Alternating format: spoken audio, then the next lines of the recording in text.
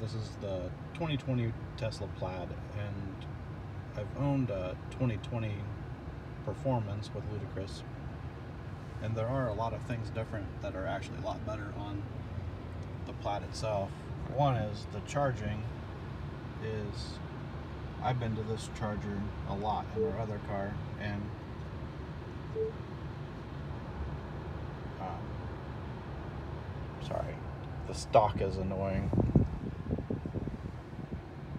And it didn't see you accidentally press the buttons and it does that. But anyways, the charging at this station before in my 2020, normally by the time you got to halfway, it starts feathering it down.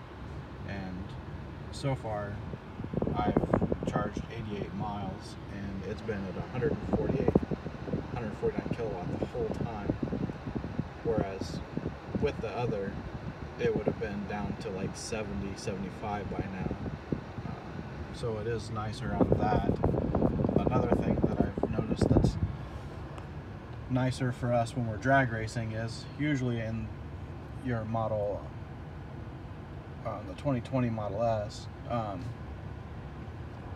with Ludicrous, it had Chill, Sport, and then Ludicrous, and then Ludicrous Plus. Well, Ludicrous Plus was what they're now calling drag race mode. When you would pick that to do launch control and everything, usually it would take you a half hour to charge. Well, now when you do drag strip mode, it um, only takes five to ten minutes, so it's a lot quicker, um, which is nice. I'll um, have another video of showing all of that mode. And actually, the funny thing is, is so when you do this, you can hear it'll turn on all the fans to cool everything down.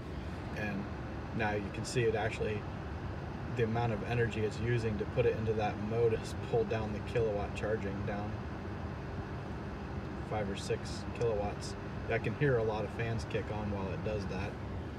So I'm gonna do some no prep this weekend drag racing, so we'll see how it works. This one has the 19 inch rims, which a lot of people don't have. Um, so we'll see how it hooks.